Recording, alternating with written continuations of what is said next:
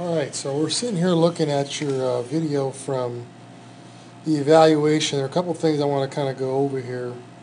So, just rewind this a little bit. This is basically looking at your blocking. And if you notice, your front shoulder here, alright, kind of perpetrating out this way a little bit. Also notice the gap that we have here, uh, right underneath your feet here. Okay, you want to try to cut that down and make sure that the first movement that we make is in this direction um, when blocking baseballs. Um, so if I clear this out, we start to really slow it down. Notice how your first movement's up versus coming down. And also notice how your head kind of jolts up this way, okay? We want to try to make sure we keep our head down.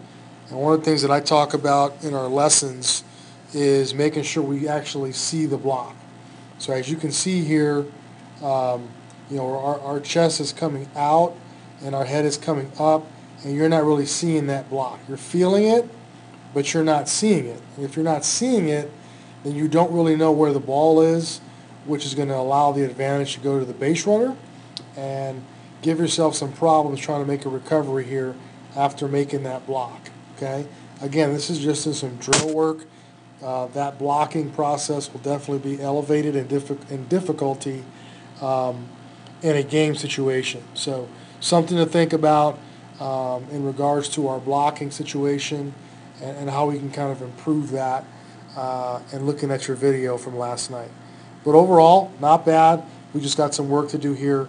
Um, and so look forward to, to helping you through that process.